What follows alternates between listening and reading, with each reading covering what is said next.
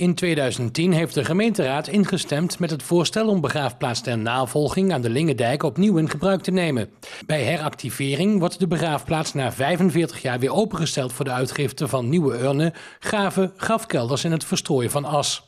Daarnaast wordt voorgesteld om per 1 januari 2015 een reserve in te stellen voor het restaureren van historische grafmonumenten. Begraafplaats aan navolging is een van de eerste begraafplaatsen in Nederland. In 1786 gesticht door J.D. van Leeuwen.